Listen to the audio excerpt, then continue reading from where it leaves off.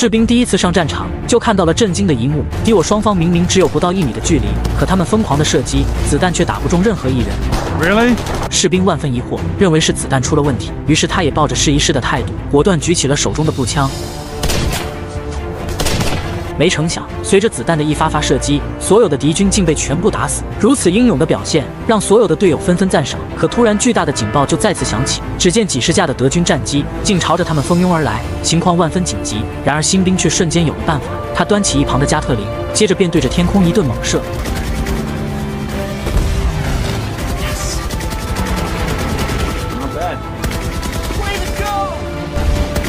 就这样，无数的子弹朝天袭去，所有的飞机也如同靶子一样，一架一架都被士兵打下。很快，听到动静的长官就迅速赶来，他对着士兵再次夸赞，但下一秒，长官就又给了他一个巨大任务。What's this? You ready to kill Hitler? 士兵当场惊愕，本想拒绝，然而长官却一脸严肃。于是经过一番商量，男人便跟着两名老兵一同前往德军基地。可等几人好不容易赶来后，却发现基地的德军人多势众，他们根本没办法进行硬闯。这时，一旁的老兵当即说道。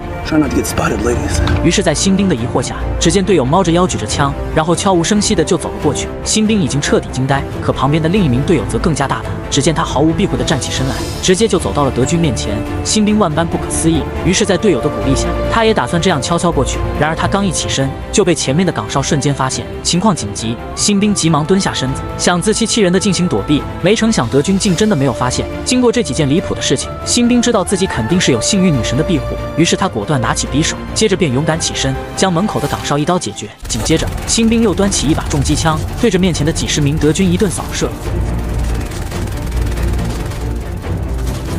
一瞬间，整个战场变得枪林炮雨。可尽管德军也在不停的射击，新兵却一点事也没有。最终，凭借新兵的一人之力，他成功剿灭了整个德军大本营。